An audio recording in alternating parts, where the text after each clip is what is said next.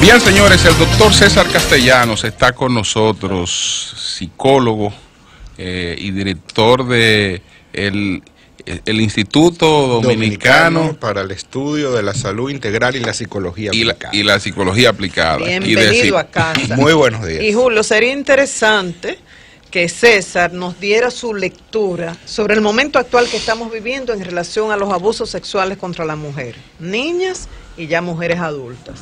Y resumo brevemente, en términos internacionales, el viernes se cumplió un año del movimiento Me Too, eh, con, denunciando escándalos sexuales en el área del entretenimiento, espectáculos, políticas y con algunos elementos que pudieran desprestigiar la causa de mujeres que quieren conseguir dinero en base a figuras públicas.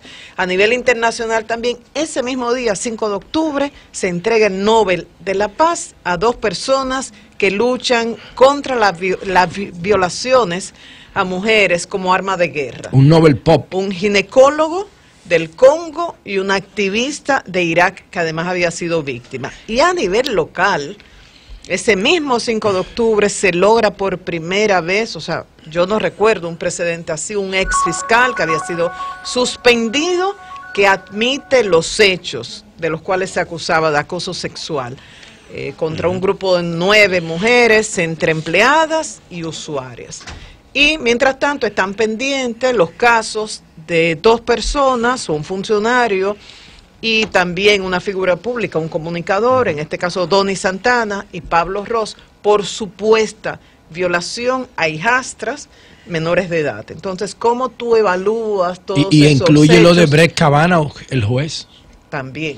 que la disputa Esto- más grande que recuerde la historia de Estados Unidos por la- el tema sexual y el anterior a él de junio también fue objetado por el mismo tema Por de mismo agresiones sexuales. Sí, Así adelante, es, doctor. bien, buenos días. Eh, sí, yo creo que los, eh, los hechos que, que- que ustedes están señalando muestran que poco a poco parece haber un cambio eh, generacional, ¿no? Un cambio en la actitud frente al tema, es decir, no es lo que necesitamos aún, pero es más que lo que probablemente hubiésemos tenido hace 20 años atrás. Es decir, poco a poco hay una sensibilización con la temática. Yo creo que los medios de comunicación han jugado un rol muy importante en esto, en la difusión y en el llamado de atención y el, y el generar opinión pública alrededor de la temática, que era algo que hacía falta porque el, el- el digamos, uno de los elementos más eh, aliados a los temas de abuso de poder, cualquiera que sea, sea sexual o sea de otro tipo, es el silencio. Es decir, y lo que hace que una persona que abusa de, un, de, de una persona, de una familia o de una sociedad o de un país, eh, tenga poder o le dé más poder, es el silencio de los abusados. Entonces, poco a poco la ruptura de ese silencio va generando un cambio en la actitud de la opinión pública y esto a su vez va movilizando a las autoridades y a los poderes fácticos que pueden tomar decisiones sobre este asunto. Entonces, sí, yo creo que es, es en alguna medida esperanzador el hecho de que poco a poco vamos viendo que se ha dejado de normalizar el hecho, el abuso, y poco a poco se va exigiendo ¿verdad? Una mayor eh, penalización por un lado y también más calidad en la investigación, que yo creo que es uno de los problemas que tenemos en el país, que es la pobre todavía eh, capacidad para investigar los temas, ¿no? para investigar los casos, y eso hace que a nivel judicial se nos caigan muchos casos, ¿no? porque no, no se puede recabar adecuadamente las pruebas, las informaciones, los datos, y, y eso, bueno, entorpece mucho la labor luego judicial, pero, pero bueno, sí, en general creo que es una, es un, albricias, ¿no? es una buena noticia que poco a poco vayamos teniendo más visibilidad de los casos. Si vemos esto en términos de la, de la evolución histórica, ¿qué tenemos ahora? ¿Una mayor cantidad de, de casos o tenemos las posibilidades de que los mismos casos que hemos tenido siempre ahora se detecten? Por ejemplo, en los casos que han trascendido, eh, la escuela, el colegio, ha jugado un papel fundamental en, en la es. detección de esos casos. Era, e- ese tipo de cosas no ocurría antes. Ah, Así es, no ocurría antes. Yo creo que en lo que tenemos, ah, por lo menos en el contexto nacional, en el contexto nuestro, que tenemos con respecto al año pasado, o los dos años anteriores, tenemos casi una duplicación de los casos. Eh, es muy probable que eso se deba mucho más al efecto de un aumento en las denuncias que a un aumento en los casos. Eh, como decíamos antes, el silencio Lo que usted el- quiere sugerir es que usted sugiere que antes había, pero no se no denunciaba. se denunciaban por Sí. distintas razones. Por distintas Había mucho razones. miedo, Cultura, patrones falta de culturales, canales, dominación, falta, de, canales, No quererse ver envuelto en un sí, escándalo. sensibilidad poco, de la opinión pública es- frente no a los había temas. presión frente a eso. Falta de terminaba la- confianza en el sistema judicial. falta de confianza, la víctima Es lo mismo de la corrupción. Ahora cualquier caso de corrupción se airea más. más rápido. Sí, eh, hay un caso que nosotros comentamos acá, César, y es el caso del, de Cristiano Ronaldo, el caso de la joven Catherine eh, Mayorga, una muchacha que sale, va a una fiesta, con, se va de fiesta con, con un atleta, que es un- una celebridad, eh, tiene relaciones con él, luego lo intenta demandar, es decir, le hace una presión, llega a un acuerdo de silencio, cobra... Cristiano Ronaldo. Sí, 300, 200, más, más de 300 mil sí. euros. Y entonces ahora ella dice, vuelve y resurge. ¿Puede ser un hecho que ella tenga trauma o es eh, buscar que va, fue por más recursos económicos? Sí, eh, indudablemente en este tipo de situaciones, sobre todo cuando se trata de adultos y adultos, ¿no? No sacando el tema de los niños, aunque también los niños son utilizados muchas veces para esos fines. Eh, hay que, cada caso es individual y hay que analizar eh, cada caso en particular. Eh, y en este tipo de situaciones, desde luego, se mezcla todo, ¿no? Y en algunos casos hay abuso sexual real, en otros casos hay simplemente una extorsión de por medio, hay búsqueda de fama, hay búsqueda de notoriedad. Ahora bien, yo creo que no es indudable que, hay gente que se aprovecha de estas situaciones para obtener dinero. Ahora, creo que eso no debe en nada quitar el acento sobre lo importante que es eh, mm, abrir los canales de la denuncia y, y fomentar que las personas hagan la denuncia.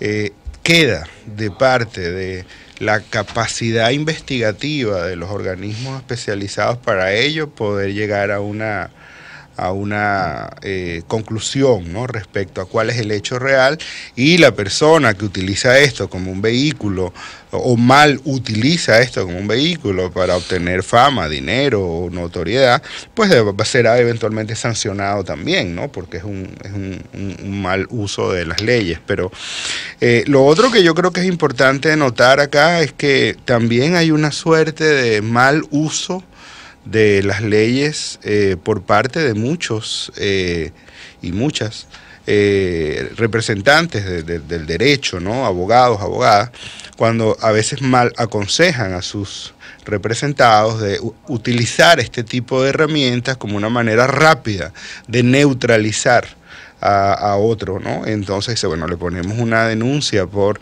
abuso sexual, eh, lo vamos a neutralizar por por lo menos un mes mientras nosotros buscamos. Entonces, hay, hay, hay de todo, ¿no? Hay de todo, por supuesto, pero creo que no debemos contribuir a, a echar humo sobre este asunto, porque sí lo hay, por supuesto que hay ese tipo de cosas, pero es muy importante fomentar la denuncia y fomentar que el silencio se rompa en estos casos. César, ¿qué hacer en tres áreas? Primero, las familias. ¿Cómo detectar un, un potencial violador, un potencial depredador sexual a nivel de la familia? Y luego, ¿qué hacer con la víctima?